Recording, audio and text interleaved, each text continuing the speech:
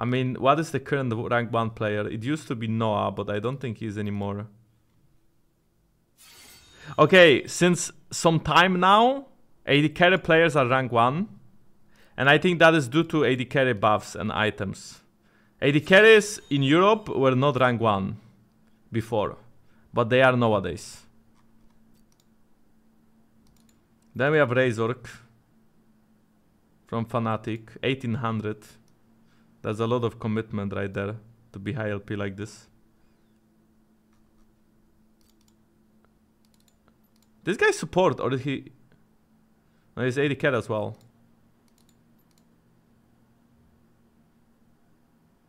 Wait, this is a Smurf account, isn't it? I wonder who this guy is. Now, Nautilus lacks Rakan.